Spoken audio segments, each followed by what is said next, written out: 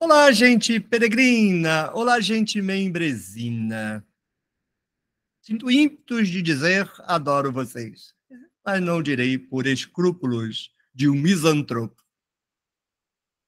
O que há de semelhante entre Abraão, Mônica e os esquálidos?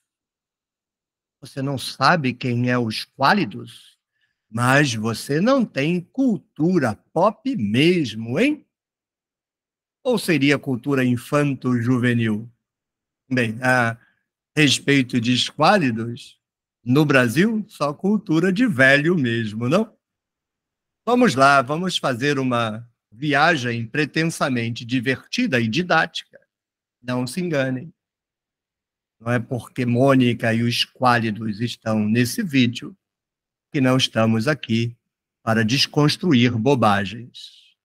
Cada vídeo da tenda tem um único objetivo: desconstruir tonterias e construir coisas adequadas por coisas corretas, pelo menos pretensamente corretas, no lugar. Então vamos lá. Primeiro eu vou começar apresentando a postagem de um site guia dos quadrinhos a respeito da Mônica.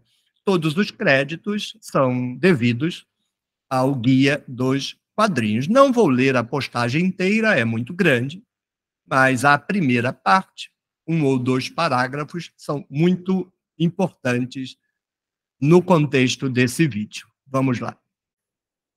Aí está Guia dos Quadrinhos, site que eu recomendo para os fãs, mas se é fã já deve conhecer. Uma postagem sobre Mônica. Nome: Mônica Souza. Licenciador Maurício de Souza, país de origem Brasil, criado por Maurício de Souza. Em 11 de fevereiro de 1963, eu nasceria dois anos, quase três anos depois, a primeira página da Folha de São Paulo anunciava a chegada, entre os personagens de Maurício de Souza, de uma menininha invocada e sem nome.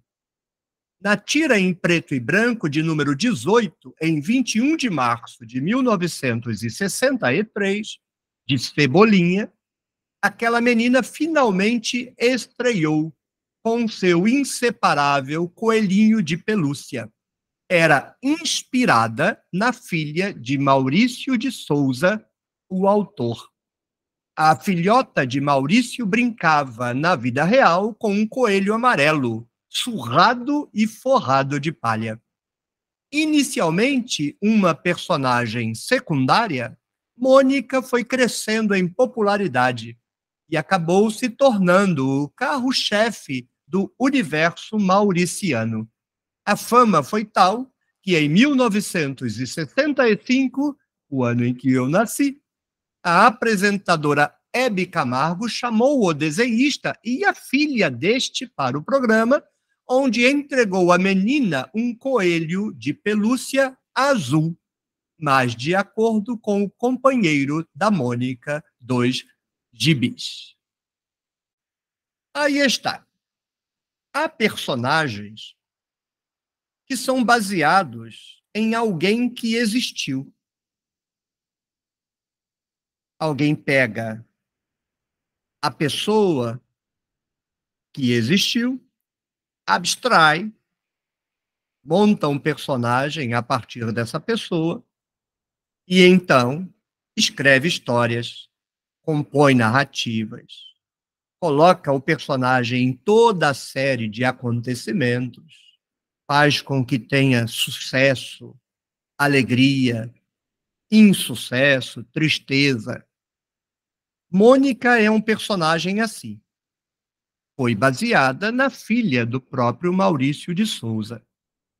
Nasceu em 1963, não tem nada a ver com a filha de Maurício de Souza, mas até que algumas atitudes da filha, aos olhos de Maurício de Souza, foram transportados para Mônica. Inclusive o coelhinho, como acabamos de ver. Mas não há mais relação alguma entre a Mônica, filha de Maurício, e a Mônica, criação de Maurício. Mas sabemos que a origem, a inspiração, a gênese da Mônica do Cebolinha é a Mônica do Maurício. Esse é um tipo de personagem que a gente pode encontrar na Bíblia personagens baseados em pessoas que eventualmente existiram. Por exemplo, na minha opinião, o personagem Jesus. Quem lê os evangelhos e acha que Jesus dos evangelhos existiu daquele jeito, está muito confuso, muito manipulado, muito enganado. Em havendo uma Mônica real, verdadeira, por trás do Jesus do Cebolinha, do Jesus dos Evangelhos. O Jesus verdadeiro não é o Jesus dos Evangelhos, assim como a Mônica do Maurício não é a Mônica do Cebolinha. Apenas um exemplo, porque este vídeo não trata de Jesus, trata de Abraão. Mas há outro tipo de personagem na literatura, inclusive bíblica. Vamos a ele? Vou ilustrá-lo com outro personagem dos quadrinhos, dessa vez do Walt Disney, Esquálidos. Vamos lá? Aí está, mesma guia dos quadrinhos, Esquálidos. Nome original é Egabeeva, licenciador Walt Disney, criado por Bill Walsh e Floyd Gottfredson nos quadrinhos de Mickey para ampliar as aventuras futuristas do famoso ratinho, o desenhista Floyd Gottfredson criou em 1947 um homenzinho que vem de 500 anos no futuro, Esquálidos. O ser bizarro que fala a língua do P é encontrado pelo nosso herói quando este se perde numa caverna. Neste momento, o famoso camundongo dá o nome de esquálidos à criatura. Só não sabia que o ser vinha do futuro. No princípio ele não falava, mas depois, além de falar e compreender todas as línguas, apareceram outros poderes também. Segundo alguns, Esquálidos desapareceu das histórias feitas nos Estados Unidos em 1950 porque estava fazendo sombra ao ator principal, Mickey Mouse. Ou seja, Esquálidos era o típico caso de coadjuvante que, devido ao excesso de simpatia, era tirado de cena.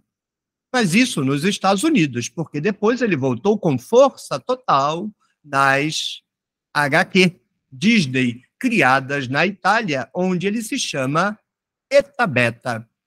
Esquálidos apareceu no Brasil pela primeira vez no Pato Donald número 22. Bonitinho Esquálido. Ele dormia no pé, como é o nome daquilo? Uma haste que sai do pé da cama do Mickey ele dormia ali em cima. Aí está, outro tipo de personagem, inventado do zero, tirado de lugar nenhum da cabeça do inventor, do criador, nesse caso, o desenhista que o criou. Na literatura internacional, inclusive na Bíblia, há muitos, muitos personagens assim, que são inventados, são tirados do nada. Eu penso que Elias pode ser um personagem assim, inventado do nada, inventado do zero mas é apenas uma suposição e, eventualmente, não muito bem alinhavada, não muito bem fundamentada. Mas é importante que a gente saiba que na Bíblia, como Terá, por exemplo, pai de Abraão, são personagens totalmente inventados, como Matusalém, nunca existiu, é tirado do nada, não é baseado em ninguém não há tradição sobre ele, não há personagem histórico por trás dele, é uma invenção absoluta e total, como o simpaticíssimo Esquálidos. E Abraão? Que tipo de personagem é Abraão? Abraão é Mônica? Ou Abraão é Esquálidos? Abraão é alguma coisa entre Mônica e Esquálidos. Abraão não é Mônica porque ele não corresponde a nenhum personagem histórico. Não existiu um Abraão.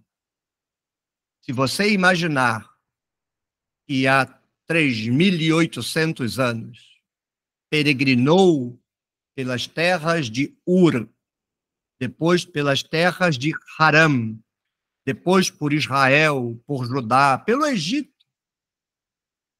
um homem cujo nome era Abraão, você é vítima de estelionatários teológicos que compuseram essa história, sacerdotes de Jerusalém.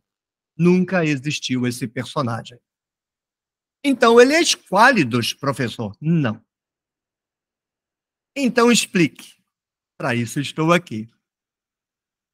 No meio da população campesina abramita, ou seja, uma população que carregava a tradição de um antepassado fundador, Abraão.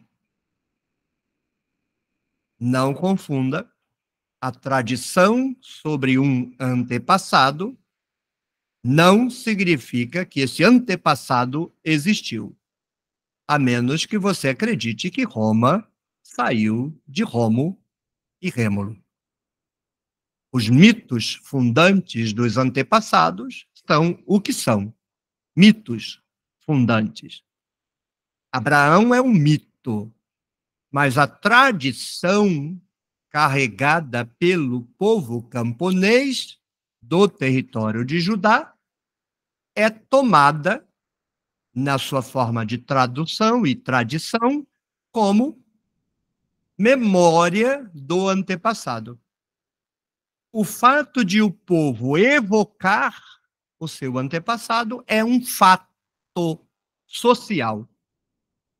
Todas as pessoas que convivem com os abramitas são tocadas pela referência contínua e constante ao antepassado Abraão cujo nome não era Abraão. A tradição abramita é histórica, mas o nome não era Abraão. Mas, para isso, assista aos demais vídeos sobre Abraão aqui no canal. Esse vídeo não é para discutir isso, é apenas para esclarecer o caráter do personagem Abraão enquanto peça de uma narrativa. Então vejam, a tradição de Abraão nem é mônica, não há um personagem histórico de verdade por trás dessa tradição, nem é esquálidos, porque quem vai inventar as histórias de Abraão, usando as tradições dos camponeses como ponto de partida, não inventou o personagem do zero. Então, Abraão nem é Mônica, nem é esquálido. É como se alguém hoje dissesse: que os seus antepassados tinham um filho. Esse filho se chamava Fulano. E nós então pegássemos essa declaração tradicional, porque é apenas isso, uma declaração tradicional, sabe-se lá se houve esse, esse antepassado e sabe-se lá se houve esse filho, você acreditar, acredite, mas você está acreditando em narrativas. Se não sabe disso, é uma pessoa integralmente confusa cognitivamente.